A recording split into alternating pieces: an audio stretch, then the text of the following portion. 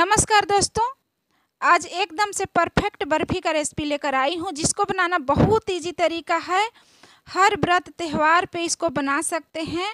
घर के सभी लोग इसे पसंद करेंगे। बहुत फ़ायदेमंद बर्फ़ी का रेसिपी है।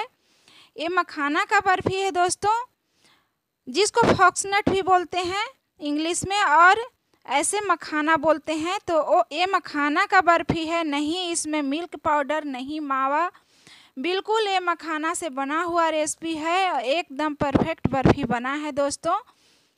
ये मखाना का बर्फ़ी हेल्थ को बहुत बढ़ाने में काम आता है। बच्चों के स्वास्थ्य के लिए भी फ़ायदेमंद है। घर के सभी लोग इसे खा सकते हैं, बहुत फ़ायदेमंद है। विटामिन बी सी डी इसमें पाया जाता है।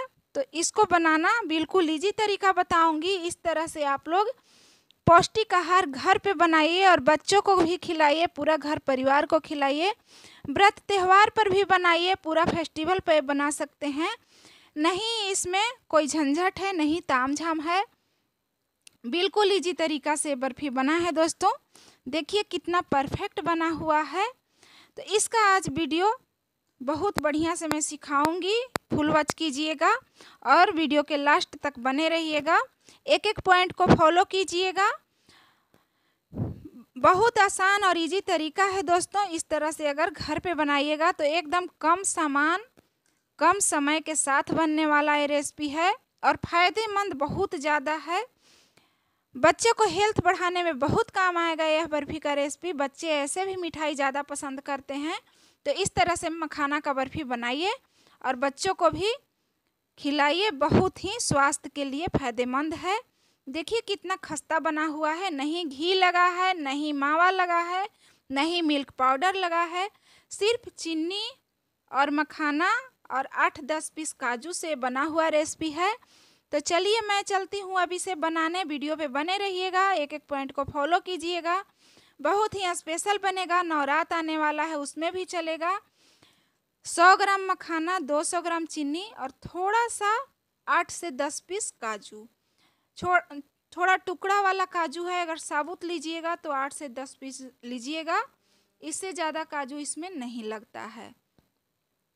पहले काजू को हल्का रोस्ट कर लेना है, कढ़ाई गर्म होने पर। एकदम लो फ्लेम पे कीजिएगा, जिससे इसमें दाग न लगे। एकदम बिल्कुल वाइट होना चाहिए। अब इसको हल्का रोस्ट कर लेने के बाद में अलग बर्तन में निकाल लीजिए। फिर देखिए, इसमें कुछ भी दाग नहीं लगा है, बहुत परफेक्ट भुना गया है। अब इसी में मखाना डालिए। बिना घी के बनने वाला ये रेसिपी है दोस्तों, और एकदम इजी तरीका रहेगा। वीडियो पे आप बने रहिए। एक एक पॉइंट को फॉलो ज़रूर कीजिएगा। अब इस मखाना को भी लो फ्लेम पे इसको रोस्ट करना है। लो फ्लेम पे एक, दो मिनट तक इसको भुनिएगा, जिससे बढ़िया से क्रिस्पी बन जाएगा, हाथ से ऐसे पाउडर बनने लगेगा।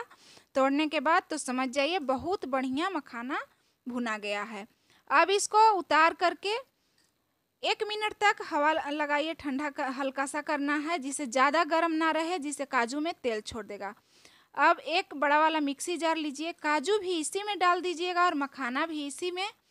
काजू के मखाना के साथ अगर पीसीएगा तो तेल बिल्कुल नहीं छोड़ेगा। देखिए, कितना फाइन पाउडर बन गया है। काजू इसमें मिक्स करके मैं पीसी हूँ, इसलिए तेल नहीं छूटा है इसमें। एकदम परफेक्ट पाउडर बना है दोस्तों। इस तरह से आप लोग हल्का मिक्सी रोक कर चला कर पीस लीजिएगा। अब चीनी को डालना है कढ़ाई में और उसी बाउल से हाफ़ बाउल चीनी था और एक चौथाई बाउल पानी डालना है।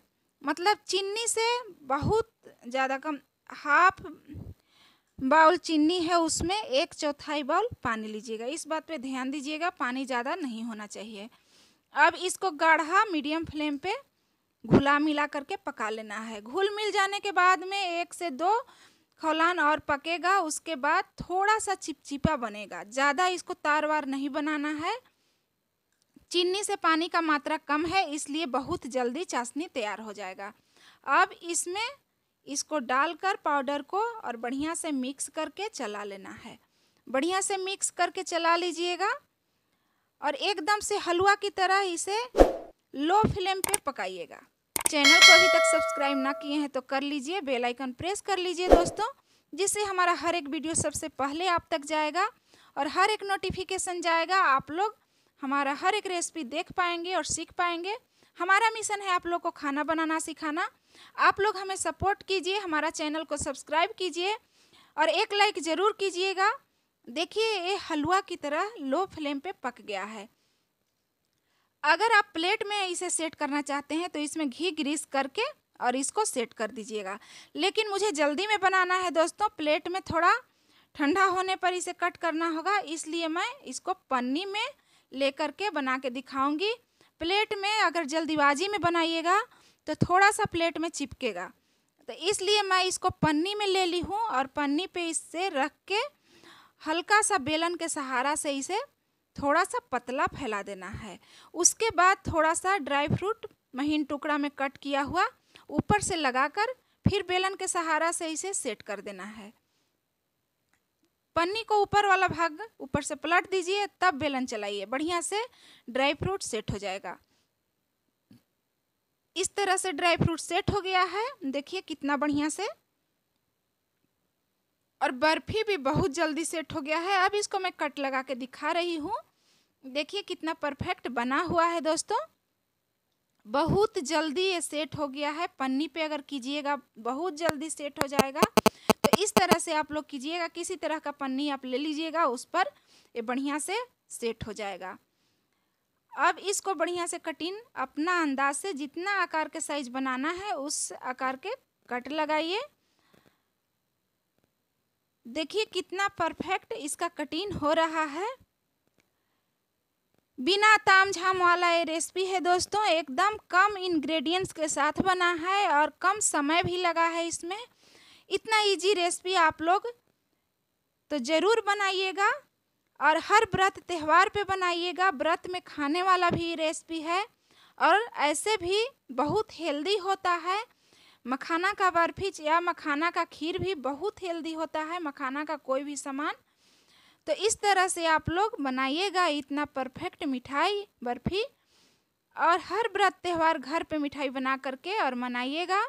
नवरात आने वाला है उस पर भी बना सकते हैं। एकदम से ज़बरदस्त बर्फ़ी का रेसिपी है।